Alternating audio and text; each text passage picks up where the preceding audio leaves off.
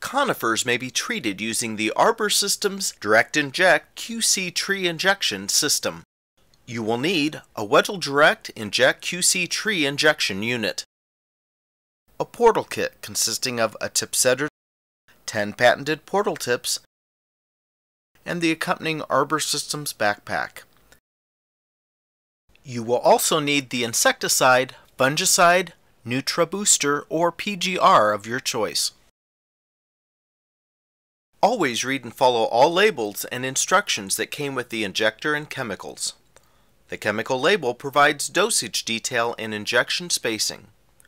Protective eyewear and gloves should always be worn when handling Arbor Systems direct inject chemicals. Attach a Portle tip to the tip setter.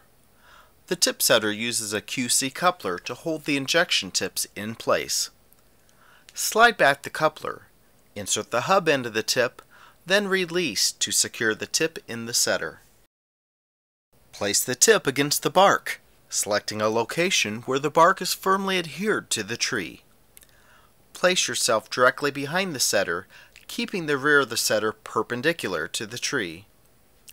Tap the injection tip into the tree using the sliding action of the tip setter.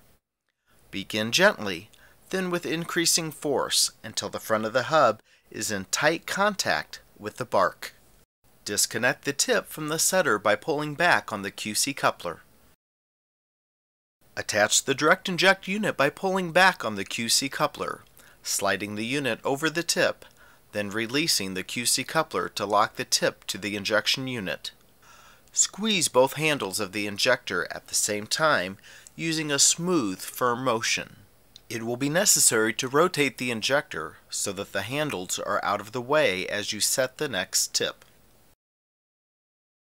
After every third injection is complete, go back three injection points and depress the valve stem with your gloved finger.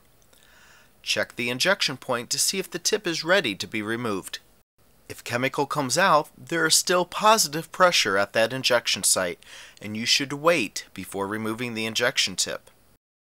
If chemical does not come out, the tip is ready to be removed. To remove the tip, reattach the setter to the tip as previously described, again making sure the setter is perpendicular to the tree. This time sliding the weight toward your body, Tap the injection tip out of the tree using the sliding action of the tip setter. Begin gently, then with increasing force until the tip is free from the bark of the tree. Proceed to the next injection site and repeat the steps of setting the tip into the tree, injecting the tree, and removing the tip from the tree.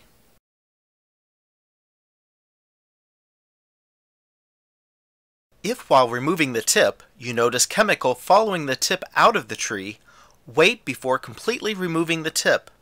It is important not to remove tips before the positive pressure on the chemical has subsided by the tree's absorption.